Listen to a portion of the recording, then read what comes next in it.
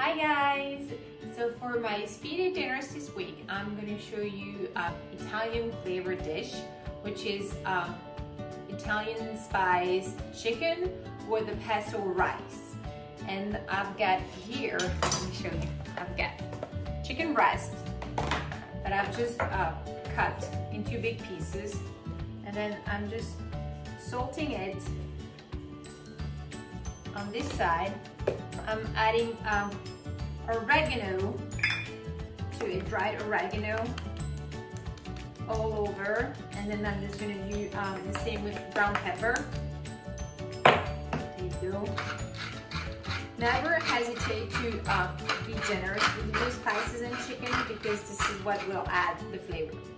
And so ideally, this should rest for a couple of minutes while it soaks in um, the salt and the pepper and everything. Uh, but since it's a speedy dinner, I'm just gonna cook it as we go and it will be really tasty. So I'm gonna take my chicken and then when the chicken cooks, I'm gonna show you how to do the rice.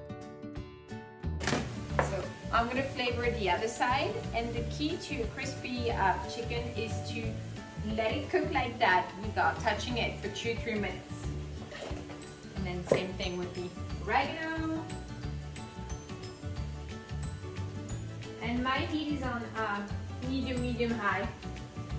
And so when that is cooking, I got on the back stove, I got some olive oil with garlic. I'm gonna add chili flakes and then my tomatoes.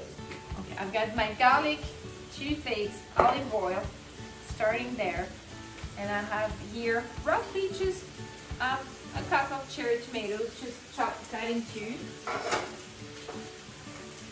Um, and then I'm gonna leave that alone for a minute or two and show you the rest. So here I have a frozen cauliflower rice and I'm just making sure it's separated. And I have uh, frozen rice. I like to do mix. I like to do mix because um, my kids like rice, but I love adding the cauliflower just for extra veggies. And I'm gonna add some spinach as well, just so they have some greens. I'm always the more the better. And then to add flavor to all that, I have here pesto sauce that I've been making this week for my cooking classes. Store-bought works really nice if you don't want to make it. But pesto, like for instance this one, it's one cup of basil, three cups of spinach, uh, like a third of a cup of walnuts, um, one lemon zest and juice, and a third of a cup of olive oil. You put it in the blender or food processor and you blend it so it's like that. So really, really easy to make. Making your own pesto is you can switch the nuts, you can switch the greens, you can make it with kale, uh, you can make it with arugula, you can make it with like pistachio, pine nuts, almonds, I mean whatever you feel like. So it's really up to you and you can play with the flavors, so that's nice. Again, don't want to make it, just buy it. I mean, you find really good quality pesto sauce um, almost everywhere. So I'm gonna go check on my chicken and I'll be right back. The key with the sauce is to um, not burn the garlic, otherwise it's not good. So starting to brown, so I'm gonna add the frozen cauliflower, rice, and the spinach. And you know, I've mentioned before, I always have uh, frozen rice in my in my fridge. It's just so easy and convenient. And you don't have to uh, you don't have to buy it if you don't want to do it. But next time you make rice, make extra and just froze the rest. So you have it for a day like this. Let me give a good stir to the rice and check on the chicken. Okay, my chicken is really crispy and nice uh, on the first side. So I just flipped it and I'm cooking it on the other side. I'm just lowering down the temperature a little bit and I'm covering it. So it will cook inside, but not dry out. When you cook it cover, it kind of steams a little bit. So it will stay, it will be moist, cooked and flavorful. But if you just keep it on too high, it might dry out your chicken. And that's not good. So, so my rice is cooking nicely. My spinach is almost wilted. So I'm gonna add like a generous tablespoon of the pesto here. And if I see that it's too thick and it's not combining well enough, I'll add a little bit of water or stock uh, so it just will coat everything nicely and it will be a nice smooth pesto.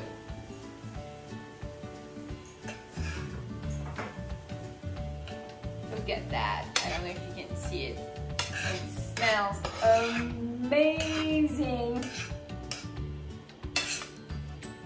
Mm, I think the kids are gonna love that. So the rice is ready. I don't want it to be uh, mushy. I'm gonna turn it off. I'm gonna check on my chicken. And the reason why I like to, uh, to cut my chicken faster. When I want like juicy, uh, big pieces of chicken, I will roast it or cook it uh, like in the slow cooker um, with maybe some kind of sauce or something. But when I don't have time, which is the whole purpose of this segment, I need efficient and so efficient means cooking faster and cooking faster means smaller pieces. That's why I had to uh, cut my uh, like chicken breast. So you can buy chicken tenders if you want, if you don't want to have to deal with cutting it and slicing it. Uh, but they didn't have any good one at the stores, so I went for the big one. This other key with chicken and making sure it's well cooked, obviously you have to check the inside temperature. It needs to be at 165. And then second, you have to let it rest before you eat it. So I'm gonna go check on my chicken, plate it all, and then show you how it turned out. So just stay there. Okay, so my chicken has had time to rest, so I'm just gonna plate it now. And um, I'm just putting the rice at the bottom, like I'm making a nice bed of the rice. Hop, hop, hop. That pesto smells amazing. There we go. And then I'm just gonna place my chicken rice. Just like that.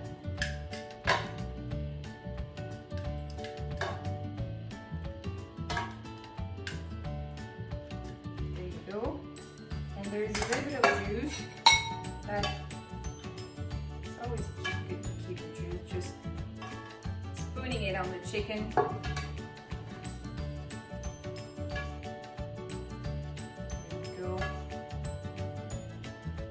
And you could add toasted pine nuts on top if you wanted to. I've done it in the past.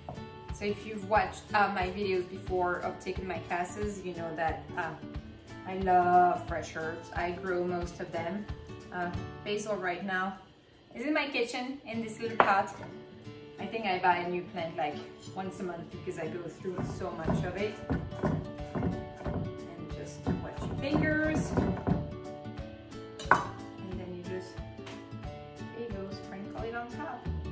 There you go, you have super easy, speedy Italian pesto rice with spinach and cauliflower rice and uh, grilled chicken with um, Italian spices. Less than 10 minutes from start to finish and it smells amazing. So thanks for watching. Bye guys.